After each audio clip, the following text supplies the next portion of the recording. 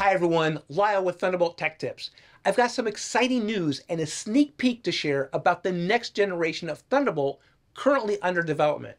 You're to love this. The next generation of Thunderbolt will not only double the bidirectional bandwidth to 80 gigabits per second, but it will also support triple the bandwidth for connections up to 120 gigabits per second for the best display experience.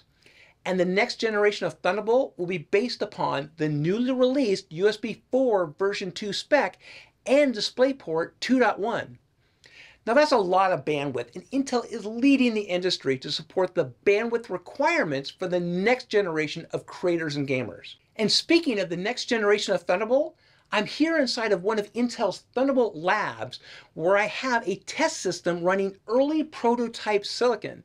Here I'm driving an 8K monitor and connected to a current Thunderbolt SSD. Check this out. You can see how the next generation of Thunderbolt will operate as 80 gigabits per second with two bidirectional transmit and receive links.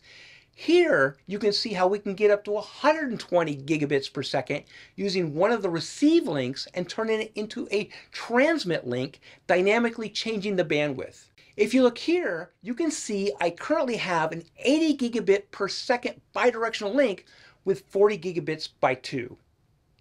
So what does this all mean for, say, the next generation of creators or gamers? For creators, it means better visuals, more bandwidth supporting the highest resolutions, more simultaneous monitors, and faster backups. For gamers, it means more bandwidth for extreme gaming, higher display resolutions, and higher refresh rates, more bandwidth for gaming docks, and faster access to external storage for your gaming libraries. With that, be sure to follow the news about the next generation of Thunderbolt, and I hope you enjoyed this sneak peek with me on Thunderbolt Tech Tips.